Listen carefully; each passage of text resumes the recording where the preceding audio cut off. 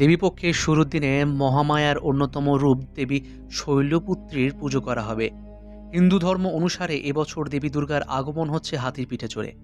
এই আগমন সকলের জন্যই শুভ লক্ষণ বয়ে নিয়ে আসে বলেই মনে করা হয়। পুজোর আগে বৃষ্টি, ভয়াবহ বন্যার ঘটনার ফলে সকলের মনে এখন একটাই প্রশ্ন, এবছর পুজো কেমন কাটবে? মানুষ নিজেকে ছাড়া আর কাউকে ভালোবাসতে জানে না, তাই নিজেকে সুখে রাখতে বিভিন্ন ব্যবস্থা নিজেই মেনে চলেন।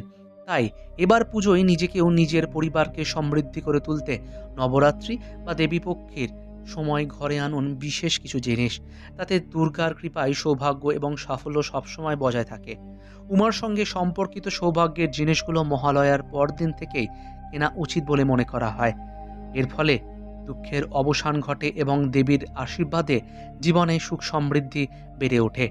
তাই নবরাত্রির সময় কোন কোন জিনিস বাড়িতে কিনে আনবেন তা জেনে নিন, চলুন। প্রথম দুর্গা প্রতিমা।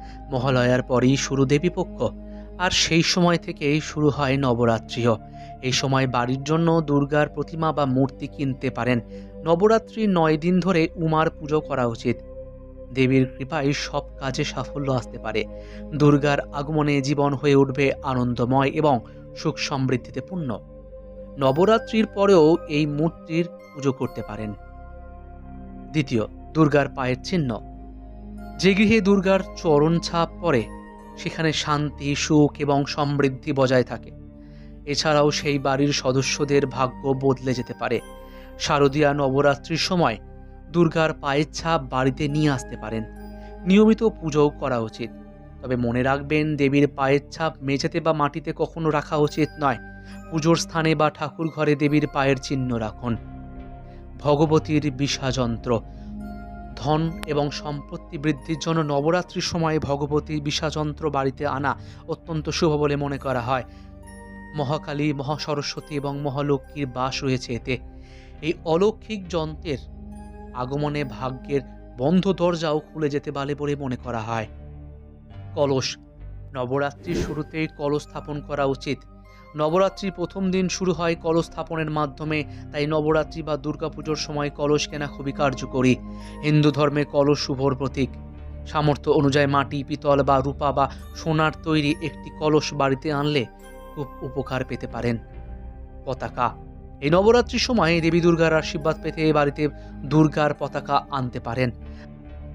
বাড়িতে শুভ এবং পজিটিভ শক্তি বজায় রাখার জন্য বাড়ির ছাদে বা উঁচু জায়গায় পতাকা রাখতে পারেন।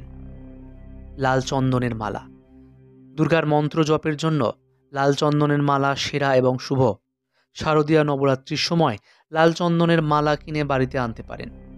লাল, হলুদ এবং গোলাপি শাড়ি। নবরাত্রির সময়, পুজোর সময় দেবীকে খুশি করার জন্য শাড়ি দেওয়া হয়। এবার নবরাত্রির সময় লাল এবং হলুদ এবং গোলাপি রঙের ওড়না বা শাড়ি কিনতে পারেন। ত্রিশূল। ত্রিশূল হলো দেবী দুর্গার প্রধান অস্ত্র এবং মহাদেবেরও সবথেকে প্রিয় অস্ত্র। এই নবরাত্রির সময় দেবীর আশীর্বাদ পেতে একটি ছোট ত্রিশূল কিনে আনুন এবং পুজোর ঘরে রাখুন। ত্রিশূল হলো শক্তির প্রতীক। সিঁদুর। সিঁদুর হলো সৌভাগ্যের প্রতীক।